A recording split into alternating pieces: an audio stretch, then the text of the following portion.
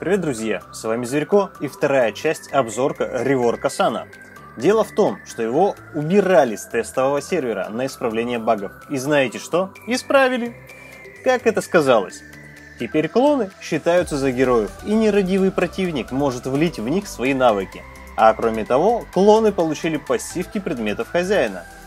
Представляете, три меча охотника на демонов или три косы коррозии криты стали стабильно вылетать, а вот говорящий с ветром не особо работает с клоном от первой способности. Кроме того, пассивные свойства брони тоже работают и на клонов. Как вам три бастиона в файте? Жаль все-таки радиус действия у него мал, смотрите в ML фактах. Кстати, во время ульты Сан исчезает на секунду, подобно Ланселот. Мне наконец удалось протестировать это. В общем, это изменение меня порадовало. Я предлагал его разработчикам. Может послушали, а может просто совпало так. Будем ждать Сана на выходе. А вы поделитесь видео, подпишитесь, чтобы не пропускать новости и, конечно же, ставьте лапки. Всем пока!